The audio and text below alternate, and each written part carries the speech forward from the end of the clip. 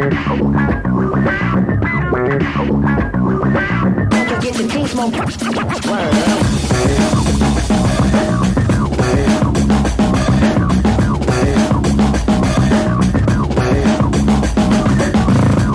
привет! В эфире «Подсолнух» и его ведущие Алена и Диана. Здравствуйте!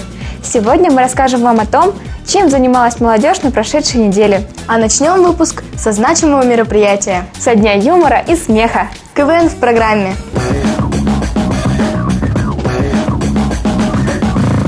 Шесть команд клуба веселых и находчивых вновь на сцене Дома культуры «Олимп». В шестой раз ребята встречают и радуют зрителей искрометным юмором, смекалкой и находчивостью. Пришла э, хорошо провести время, повеселиться, получить хорошие эмоции. Итак, произнесены стартовые слова ведущего и... Мы начинаем КВН. Первыми на сцену выходит команда Ленины. В клубе веселых и находчивых они играют не первый раз. И благодаря острому юмору и хорошему актерскому мастерству у ребят много поклонников.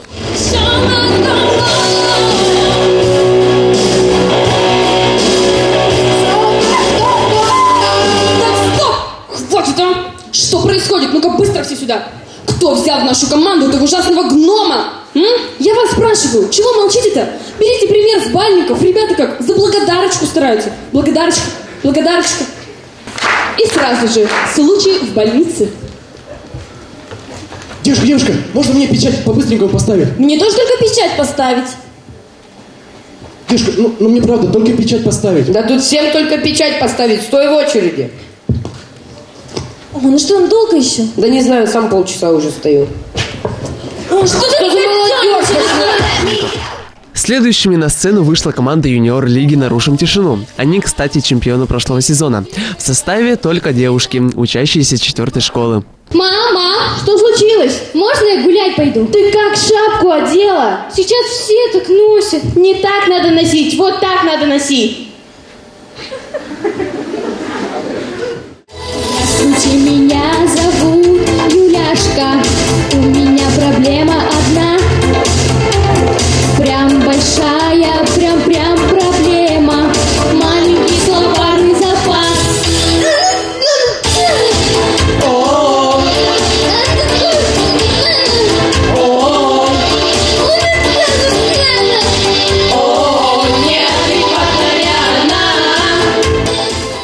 Люди в бабочках – команда студентов филиала Муравленковского колледжа. Ребята не новички в играх КВН, но иногда их участники меняются. Так и в этот раз. На сцене как уже опытные игроки, так и те, кто играет в клубе впервые. Новости. Одна девочка, чтобы дольше спать по утрам, побрилась на лосы. Эй!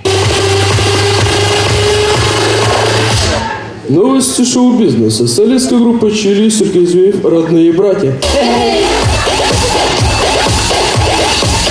Новости в Губкинском. После приемки выполненных работ на дорогах города комиссия сделала вывод.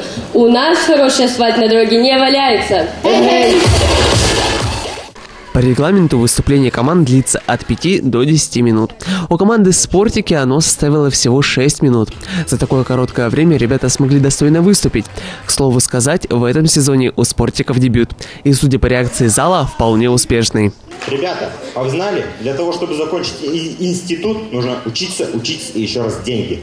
Как позже рассказали ребята, эта шутка была написана самой первой, но и другие миниатюры, звучавшие со сцены, также удачные. Особенно хорошо воспринимались зрителями реплики о Губкинском.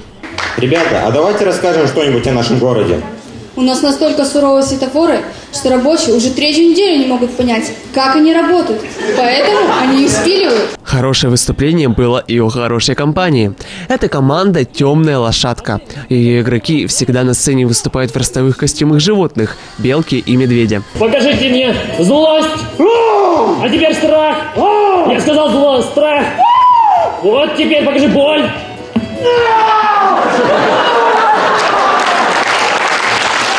Кстати, при выборе номинации «Приз зрительских симпатий» именно этой команде зал отдал больше всего голосов.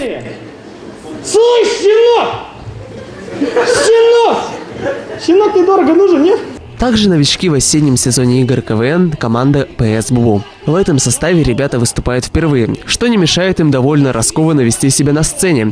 Но это не помогло игрокам завоевать главную награду – диплом победителя. Мы знаем свои силы, мы знаем то, что мы немного дали слабинку. Почему? Потому что мы чуть-чуть были не так настроены. Правильный настрой – немаловажная деталь на пути к победе. Об этом знают и участники, и, конечно же, организаторы. КВН не стоит на месте, и каждая отдельная игра – это всегда новая ступень в развитии каждого КВНщика отдельно и в целом команды, ну и, конечно же, движения у нас в Губкинском и на Ямале.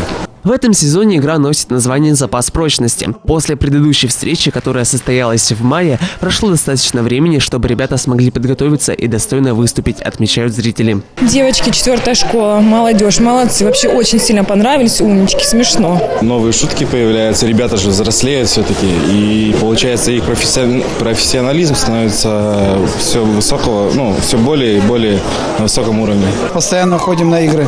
И как вам, как оцениваете уровень? Уровень высокий, мне нравится, как выступают команды. Было очень смешно.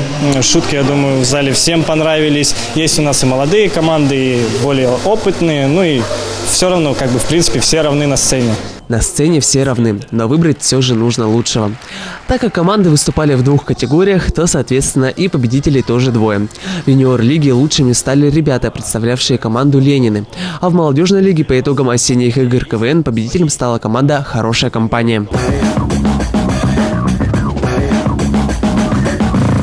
Диана, ты пьешь молоко? Конечно.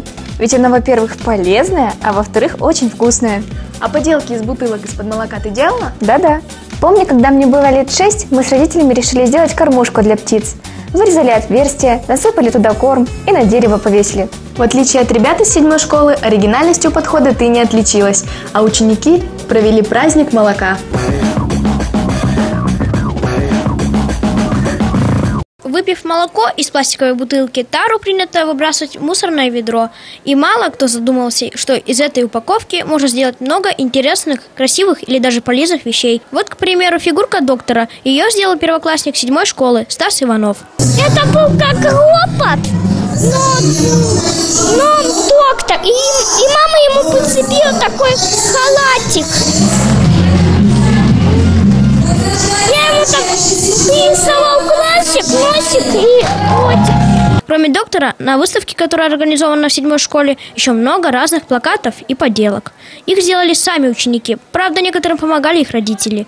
К примеру, в этом синем замке живут король с королевой. Это работа Дарьи Ганджи. Я делала из бутылок и красок из-под молока.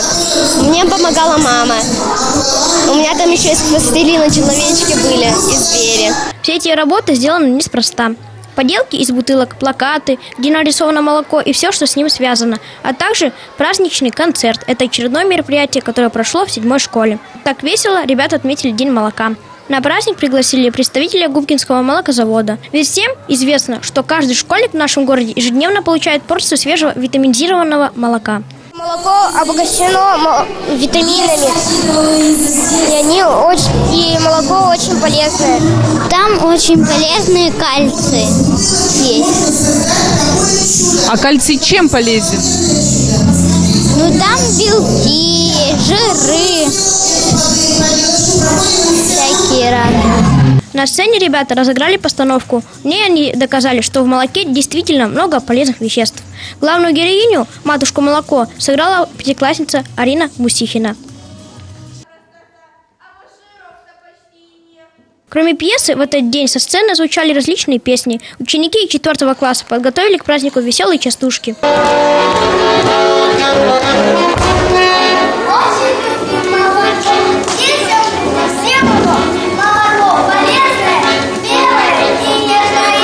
Самые маленькие школьники тоже не остались в стороне. На День молока они исполнили песню из мультфильма.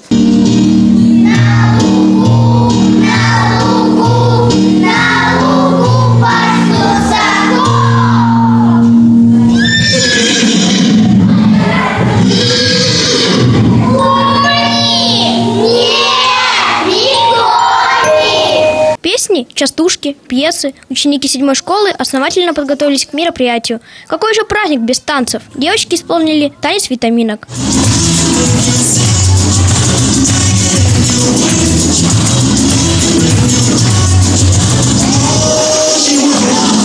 Случайно, честно сказать, попал. Я не в то время за ней приехал в школу, но очень рад, что посмотрел этот праздник. Детям действительно интересно. В конце праздника для подведения итогов работ на сцену пригласили представителя молокозавода Елену Золину. Вы просто умнички. Вы знаете, мы сегодня были в таком тупике, мы не знали, кому давать призы. Потому что каждая поделка, вот как уже говорили, это на самом деле это произведение искусства. Елена Юрьевна похвалила ребят за их творчество и вручила ученикам за активное участие в конкурсе поделок грамоты и приятные подарки. За коллективную работу ученики получили по мешку кукурузных палочек, которые они с удовольствием скушали все вместе. Также памятные призы получили те ребята, чьи работы оценили члены жюри и гость праздника. А самыми лучшими поделками были признаны жираф, кораблик и робот. Чи,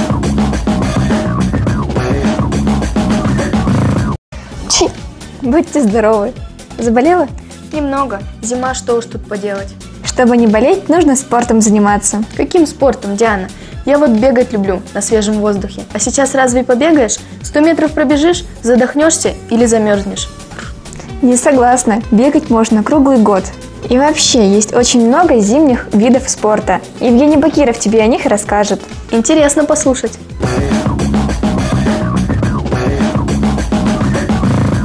Всем привет! С вами Евгений Бакиров. За окном уже не первый день лежит снег, поэтому, думаю, актуально будет поговорить о зимних видах спорта. Я расскажу о четырех. Уверен, что каждый человек должен заниматься хотя бы одним видом зимнего спорта.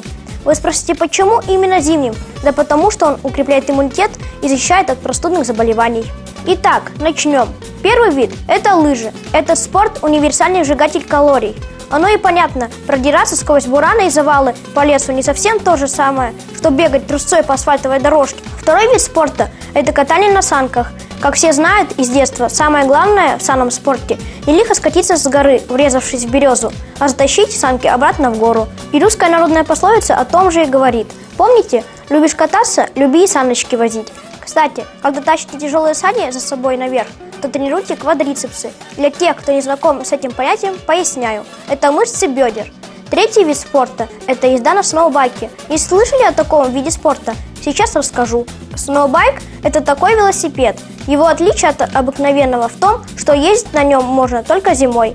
Вам придется более интенсивно крутить педали, а значит мышцы получают большую нагрузку. Еще один момент. Если вам надо оперативно подготовиться к летним соревнованиям велосипедистов, лучше сделать это зимой. Снежные завалы и сугробы прекрасно развивают чувство баланса и способность за короткое время развить скорость болида. Четвертый вид спорта – это бег. Ваше сердце определенно скажет вам спасибо за несколько километров пробега. Зимой это хорошо тем, что вашим мышцам приходится совершать дополнительные усилия, чтобы бежать по снегу. Им нужно будет напрягаться в разы сильнее, чтобы удержать тело в вертикальном положении, что способствует развитию мышц голени а еще снижает риск сердечного приступа и болезни. В итоге, хотите быть здоровыми и хорошо развиты физически? Тогда занимайтесь спортом. Это все, что я хотела вам рассказать сегодня. До новых встреч! Нравится мне один проект, называется «Минута славы». Вот смотришь и поражаешься, сколько талантов живет у нас в стране. Полностью с тобой согласна. А как много талантов учатся у нас в школах? Это ты на что намекаешь? В четвертой школе прошел марафон талантов «Осенний звездопад». Там выступали и танцоры, и певцы, и чтецы. В общем, было очень интересно. Тогда смотрим.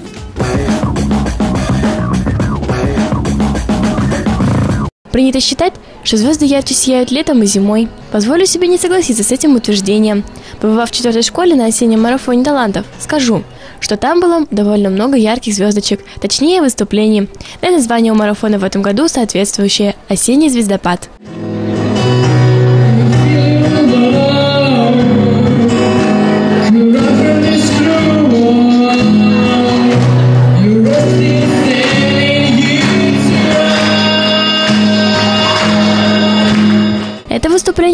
Десятиклассника Юрия. Молодой человек не только сыграл на гитаре, но и спел под ее аккомпанемент. Номер нашел своего зрителя. Ну, вообще отлично, так это... А, некоторые ребята хорошо выступили, некоторые не очень. А какой-то номер уже можешь отметить? Ну, на гитаре мальчик играл, вот мне больше всего понравилось. По полезе ребят пришли не только ученики четвертой школы, но и ее выпускники. Так Савелий Сыропятов окончил основную школу и с удовольствием пришел посмотреть на выступление своих бывших одноклассников. Все сегодня нормально было, ну послал только полпрограммы, еще будет что-нибудь дальше интересное. Активно приветствовали зрители и следующую вокалистку. Пятиклассница Лиза исполнила довольно сложное для своего возраста произведение.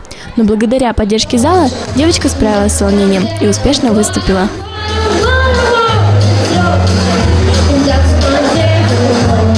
Принять участие в осеннем марафоне талантов могли все учащиеся с 5 по 11 классы.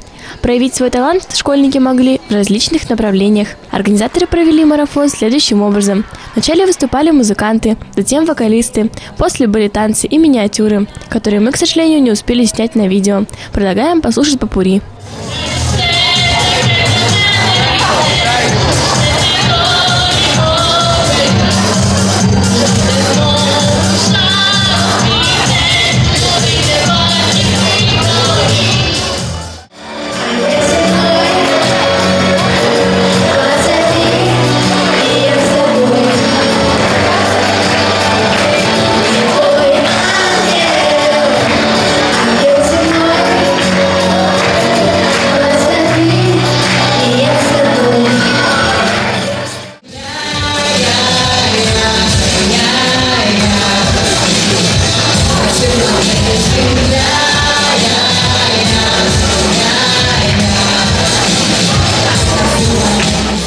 Восторга нет предела, потому что они необыкновенно талантливые. И, конечно бы, если бы было у них больше времени и у нас было больше возможностей для того, чтобы они могли постоянно выступать, петь, играть, конечно, дети у нас очень талантливые и э, креативные, замечательные, мы их очень любим. В завершении марафона лучшие выступления были отмечены специальными дипломами.